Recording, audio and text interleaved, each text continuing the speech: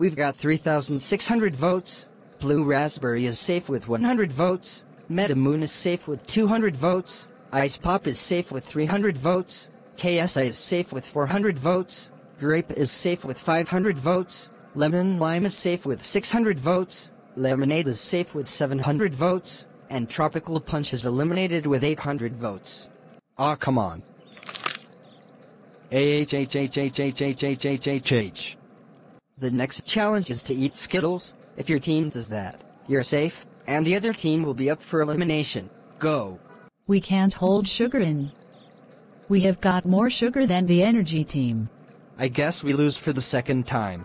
The energy team wins. Type A for blue raspberry, type B for lemon lime, type C for grape, type D for ice pop, type E for lemonade, type F for KSI, and type G for metamoon. And episode 8 coming out tomorrow.